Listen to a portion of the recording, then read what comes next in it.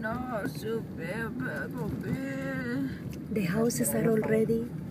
เนี่ยอาจารย์นี่รถไฟ dressed as the China for the Chinese New Year. อามาแพ้ก็ไม่ได้เน่ามันมีรถออกบ่อยไหมคะในกรุงเทพนะนี่เป็นนี่บ่อยเป็นเหรอคะนี่เป็นไลบรารีไลบรารีอ๋ออ่านหนังสือได้ไฟหัวหินนี่มันถูกที่สุดรถไฟได้อ่านหนังสือได้